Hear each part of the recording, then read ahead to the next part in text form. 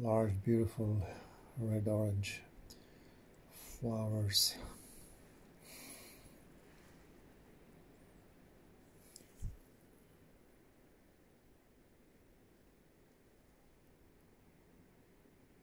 Quite open wide open.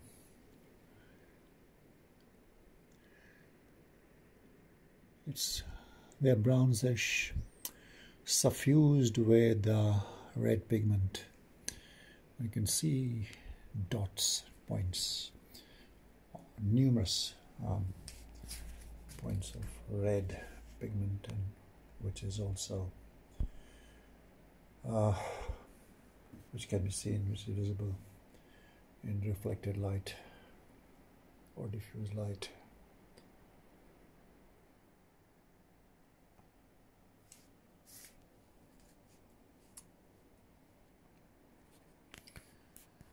This is the best light to show the colors.